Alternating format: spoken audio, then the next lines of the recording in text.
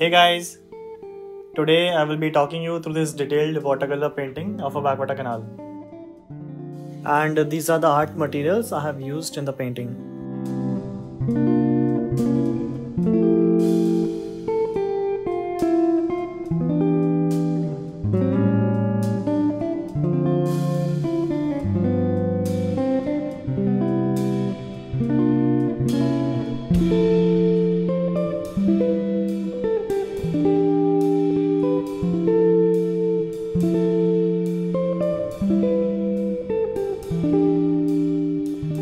Welcome to my new video. Watercolor is my favorite medium to paint. So, more often than not, I find myself painting with watercolor. Here, I'm using a reference picture from Pinterest, which is my go to app for painting inspiration. I was looking for an image full of nature and greenery when I stumbled upon this beautiful picture of this backwater canal in Kerala. So, firstly, I'm making a rough sketch with pencil drawing in detail only the subject in the illustration, which is the boat and the people on it. For the rest, I try to get an outline of what would lie where. Uh, you don't need to be very precise here. These are the parts which do not make or break your painting. They are flexible and don't demand control. At this stage, try not to be bogged down in minute details for the whole drawing.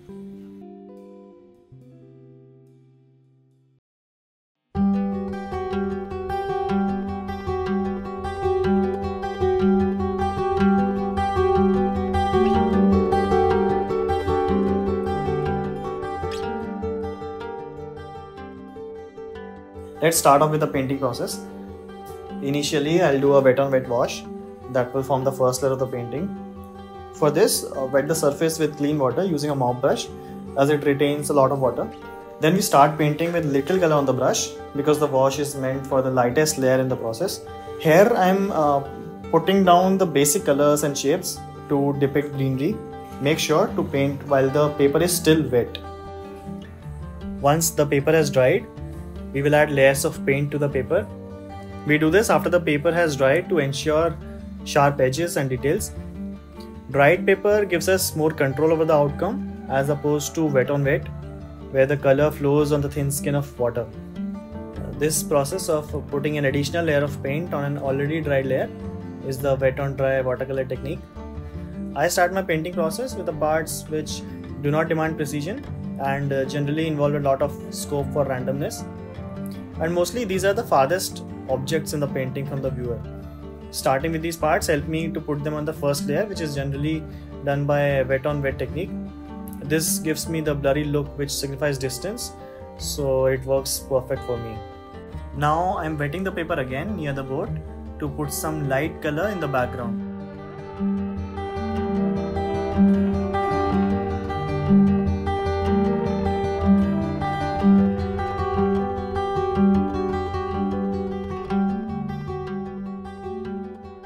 Whenever you feel you have put more color on the paper than you wanted to just wet the brush with clean water and use it to wipe out the extra color from the paper. But don't use too much water in the brush while doing this. When the surface has dried we paint in detail using round brushes. Uh, you'll see i keep on changing the brushes of different sizes depending on the precision required. Now that i have black color on my brush I will use it in the nearby areas too where I know it's needed. Instead, if I change the color on my brush to complete the head first, I will end up wasting black as I would wash it. Uh, you will see me doing this throughout the video as it saves color as well as time and effort to keep on changing colors.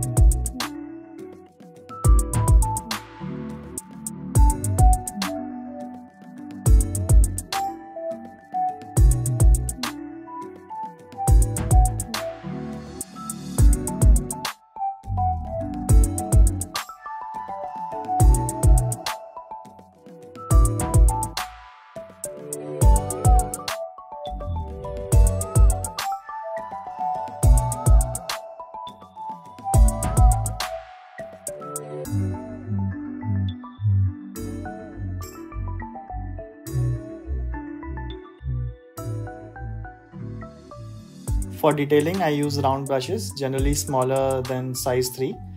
For very minute details, I like using 3x0 or triple zero brush size. Different brands have different nomenclature.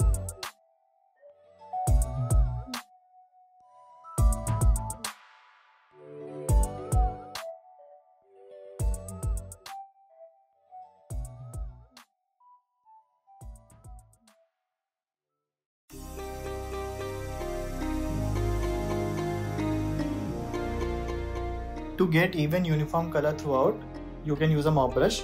Mop brushes have the specialty of retaining large amounts of water and color and this helps in painting over a large area with a consistent flow. I used a little bit of white and grey to give the boat old rusty filthy look on the sides.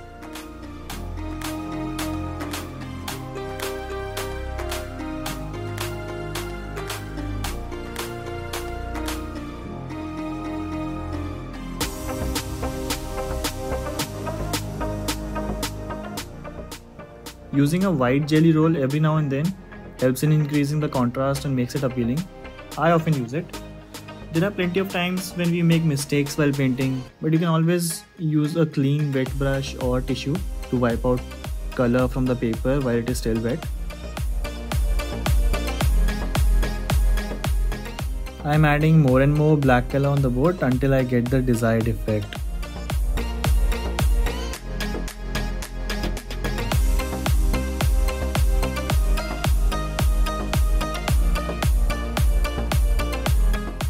Time for the tourists now.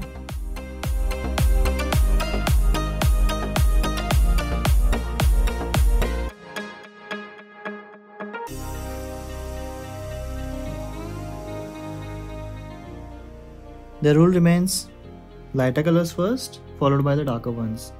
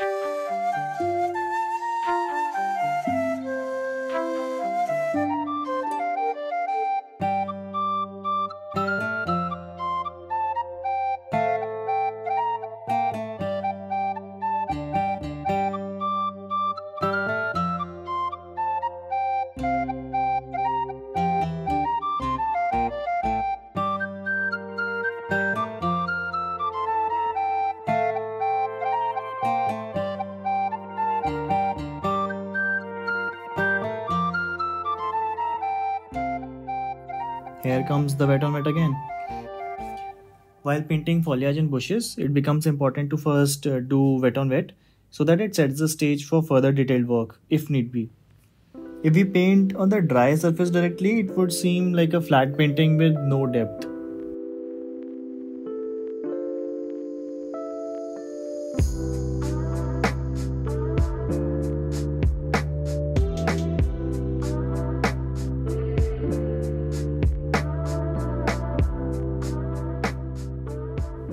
I think the beauty of watercolor as a medium is that the water paints half of the painting for you.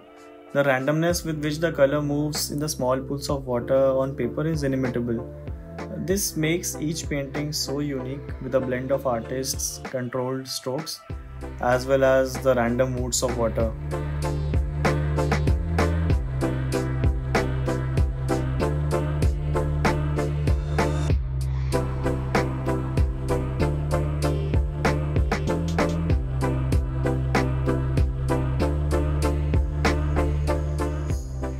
Now that the paper is relatively dry, I am putting down some darker shades of green.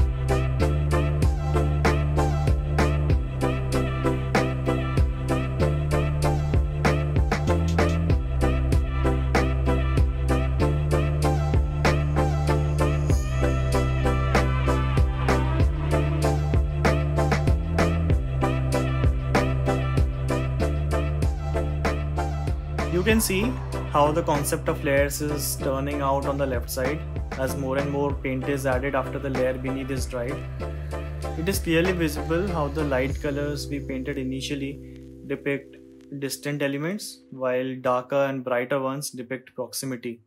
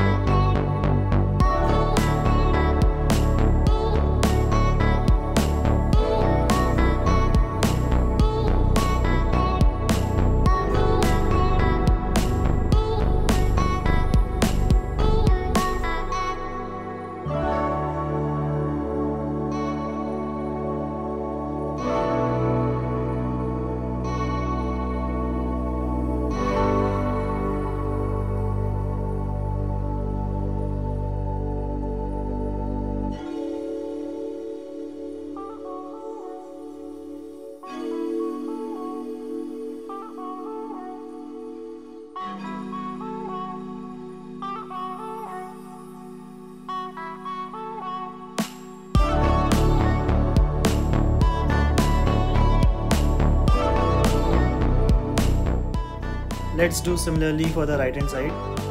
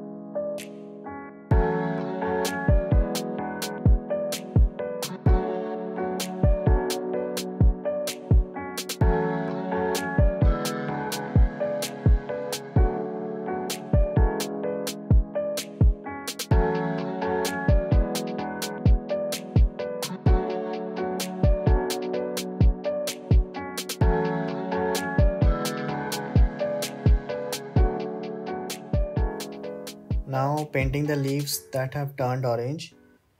Always keep this fine detail work for the end. It's like garnishing your painting when most of it is already done.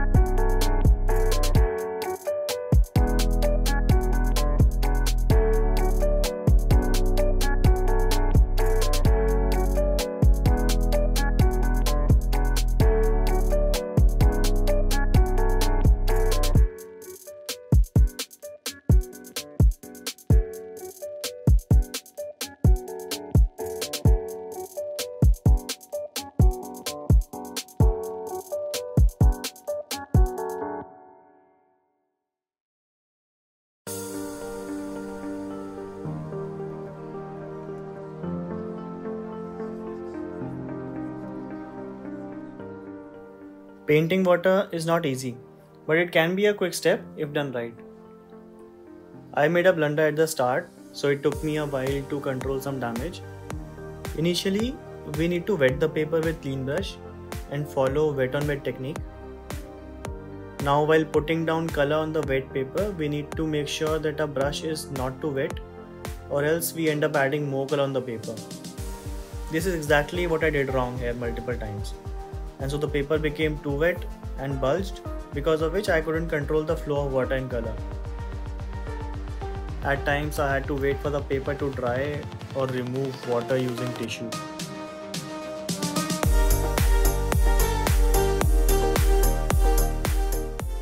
The reflection in the water will always look darker than the object itself and will lie in a straight line below the object.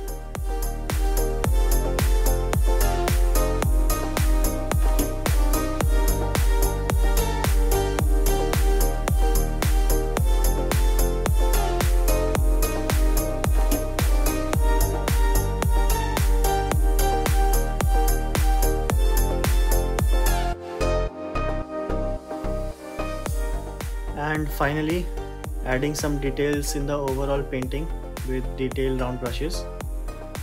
Details like shadows dark corners green and yellow reflections in the water or strokes of white for highlights. Keep on making such adjustments until you feel satisfied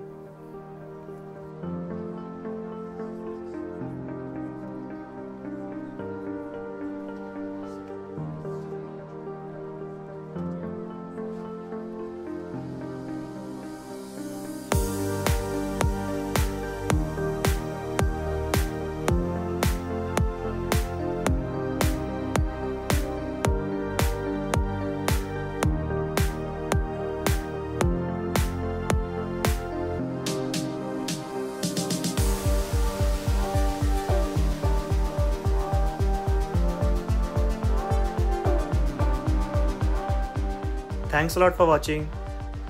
Let me know your views in the comment section. Uh, see you in the next one.